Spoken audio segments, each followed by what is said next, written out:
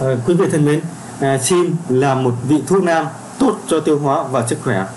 Ngoài ra thì quả chim còn có thể là ngâm rượu, làm đồ uống rất ngon và rất tốt cho hệ tiêu hóa. Theo các tài liệu cổ thì quả chim còn có cái tên gọi khác là đương lê, sơn nhậm, nhậm tử, đào kim nương. Đây là một cái loài cây vô cùng quen thuộc với người dân Việt Nam từ khắp các tỉnh, từ đồng bằng đến trung du miền núi đều có sự phân bố của cây thuốc này.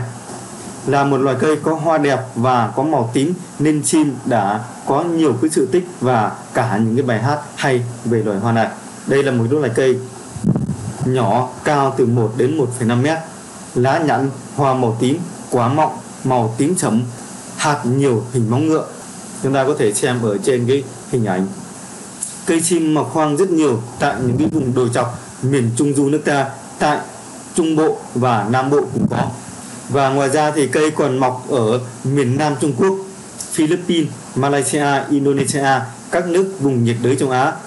Tại Việt Nam thì người ta không trồng nhưng ở Philippines người ta trồng để lấy quả. Ta dùng quả và búp sim tươi hay là phơi khô để làm thuốc. Về quả sim thì có rất nhiều cái công dụng.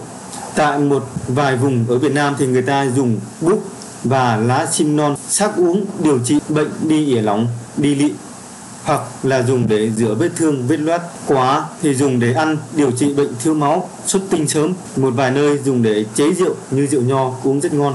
Thường dùng loại chim lá nhẵn, loại chim quả lớn. Rượu chim thì có cái tác dụng là tăng cường sinh lý và rất tốt cho tiêu hóa. Rễ chim điều trị đầy bụng, ăn khó tiêu, tốt cho xương khớp.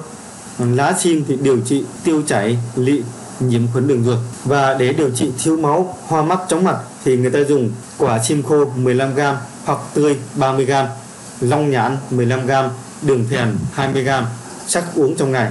Để điều trị xuất tinh sớm thì người ta dùng quả chim khô 60g, một quả trứng gà 30g đường phèn, 20ml rượu trắng, 500ml nước đun sôi nhỏ lửa, còn 300ml nước uống trước khi đi ngủ. Ngày uống 20 đến 30 bút hay là lá non dưới dạng là thuốc sắc dùng đắp ngoài da không kể liều lượng.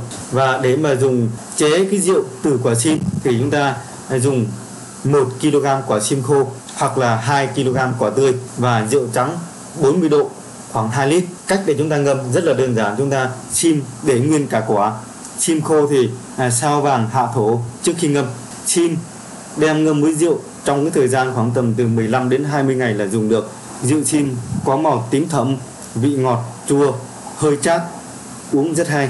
Và đặc biệt là nó có cái tác dụng tác dụng của rượu chim là đây là cái đồ uống khai vị dùng trong các cái bữa tiệc.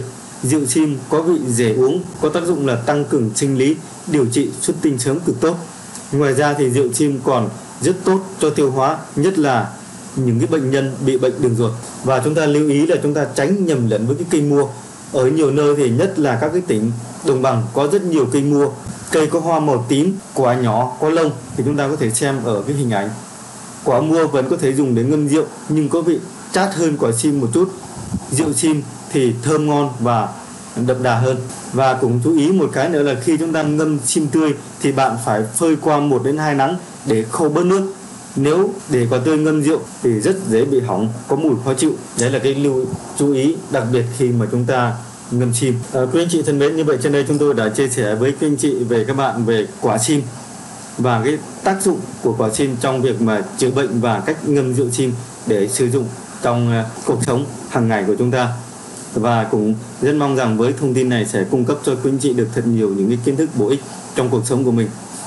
Nếu có bất kỳ băn khoăn hay là thắc mắc gì thì quý vị có thể à, để lại lời bình luận bên dưới của video và chúng tôi sẽ phản hồi lại các bạn trong cái thời gian sớm nhất và cuối cùng xin chào, hẹn gặp lại quý vị trong những video tiếp theo của chúng tôi.